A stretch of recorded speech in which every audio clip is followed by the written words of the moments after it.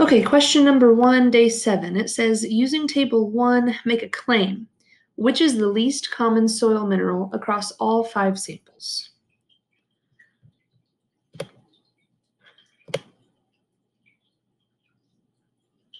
So we are looking for least common soil mineral, and we're looking at all five samples. Soil minerals would be sand, clay, or silt, and we're trying to find the one with the least amount whenever we add it up for all of these soil samples.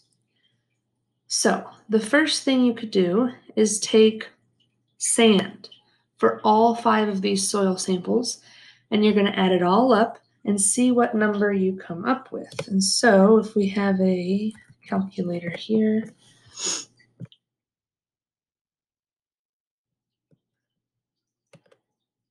move this out of our way. So we have sand. Soil sample one was 65%. Soil sample two was 10%. Soil sample three. Soil sample four, and then one more after that. Soil sample five. And so our total for sand would be 215 if we were to add all of that up. And so I'm going to write this in kind of a yellow color I'm going to put SA for sand. And that was what, 215? 215. Oops. One. Okay, now if we were to move on to clay for all five of our soil samples here, we're going to do the same exact thing and add all of those up. So soil sample one, we have 10%, 75%. Soil sample three was 35%. Soil sample four was 20%.